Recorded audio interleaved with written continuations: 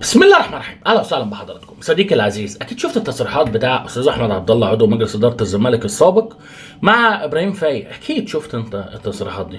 أكيد. الراجل تصريحاته كانت واضحة وصريحة. بيتكلم في نفس الحكاية اللي إحنا بنتكلم فيها بقالنا سنين. إن الزمالك بيحاول يدعي دور المظلوميه عشان ياخد حق أكبر من حقه. هتقول لي إيه يا معلم؟ بتفكرني كده بماتش السوبر الأفريقي لما اللعيبة انسحبوا وقالوا إن هم مش هيلعبوا بعد ضربة الجزاء. وسبحان الله كسبوا البطولة. صديقي ما هي دي بقى الحاجات اللي بتضحك. إن أنت دايما بتحاول تثبت إن الناس كلها ضدك والناس كلها عاملة مؤامرة عليك. هتقول لي بس برضه مش الزمالك لوحده. متفق معاك. في بعض الأهلاوية بدأوا يقولوا إن أصل المنظومة زملكاوية وأصل المنظومة مش عارف إيه وأصل الحكام وأصل مع إنك خدت بطولات في نفس المنظومة دي وخدت بطولات في نفس الحكام دي. بس كل واحد ما بيحبش إن هو يقول إن هو فاشل. معلش أنا بتكسف. جملة إن أنا فاشل دي بنتكسف منها. لازم يكون في ظرف لازم يكون في حكام آه لازم يكون في منظومة. آه أصل الشعب بيفرح لما الأهلي بيكسب. لازم. بنتكيف قوي لما بنحس إن إحنا مظلومين. ما هي سبحان الله حاجتين عكس بعض في الم- في المجتمع المصري ده. يا تحس بالقوه المفرطة وهدوس على أي حد وأي حد هيتكلم عن الزمالك هنبلغ الدولة عنه. يا أصل إحنا مظلومين. والناس كلها جاية علينا. يا أبيض يا أسود. يا انت قوي وبتاخد حقوق اكبر من حقوقك عشان انت قوي يا انت ضعيف وما بتاخدش حقوقك وظالمينك في حقوقك.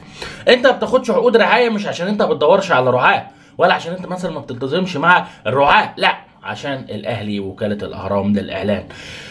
إحنا مظلومين. إحنا مظلومين في كل حاجة. إحنا مش فشله لا لا لا إحنا ما مش جمهور. كنا بنطبل لمرتضى منصور صبح وليل وفجأة كنا بنهاجمه. لا لا لا. إحنا مش جمهور بنعمل كده خالص. إحنا مش جمهور بنطبل ان شيكابالا عمره في حياته ما شتم ولا غلط في حد مع اننا عارفين ان شيكابالا كان بيغلط وكان بيشتم. عادي. المشكلة كلها ان انت بتحط إطار غير حقيقي وبتحاول إن انت تخلي الناس تصدق الإطار الغير حقيقي ده. فبالنسبة لي تصريحات أستاذ أحمد عبد الله حاجات أنت هارسها وعايشها 7000 مرة. اللي هو أصل الدور الثاني في 30 بونت بيكونوا مؤجلين ولو آه، المنافس كسبهم هيكسب. طب ما انت عندك نفس المؤجلات. لا بس المنافس لو كسبهم هيكسب. طب انت ما انت عندك نفس المؤجلات.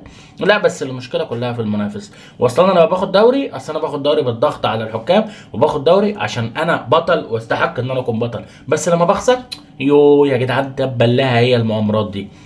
أنا نفسي في يوم من الأيام في الكرة المصرية نلاقي في منظومة احترافية. نفسي في يوم من الأيام نلاقي في حد بيعترف باخطائه نفسي في يوم من الأيام نلاقي في تنافسية محترمة وفي كرة قدم محترمة بتتقدم وفي ناس بيتكلموا معانا في حاجات محترمة بره الملعب. لكن للأسف الشديد طول ما هي ماشية كده وطول ما هي دايرة كده وطول ما في جمهور بيصدق نظرية المؤامرة وطول ما في جمهور بيصدق ناس كتير جدا عاشوا واتشهروا على نظرية المؤامرة فهم بيشتغلوا نفسهم.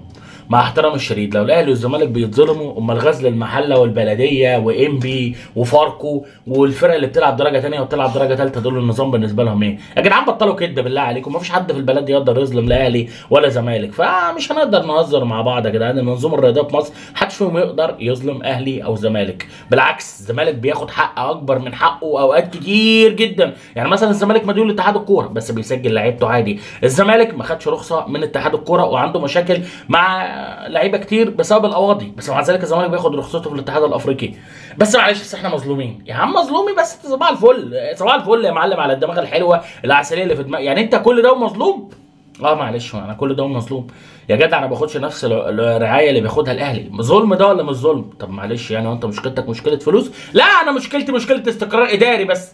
طب معلش مين اللي بيختار ال- اللي بيديرنا للزمالك؟ لا أصل مش إحنا ده الجمعية العمومية. طب الجمعية العمومية دي تبع مين؟ هو أنا أنت ليه بتحاسبني على مشاكلك وليه بتحاسبني على إن أنت ما بتعرفش تختار ناس بتدير النادي؟ لا أصل معلش يعني الحاجات دي خارجة عن إيدينا. طيب شاطر. بالنسبة للشخص والحاجات دي خارجة عن إيدينا وكانت درع وسيف في يوم من الأيام.